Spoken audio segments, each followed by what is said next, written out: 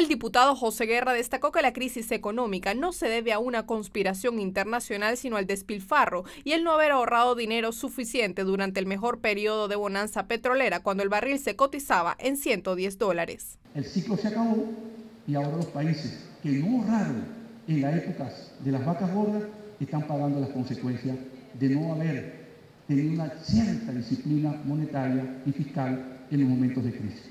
Representantes del sector sindical, empresarial e industrial aseguraron que es necesario que el gobierno reconozca que su política económica fracasó y urge un plan de reconstrucción nacional. El valor ficticio de la divisa verdaderamente es el de 6.30, el de 12 o el de 200, por cuanto no se consigue.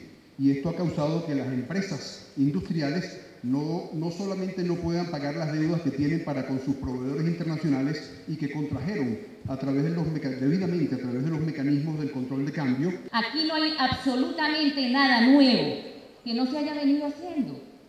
No es cierto lo que se dice de que eh, es necesario agilizar los procesos.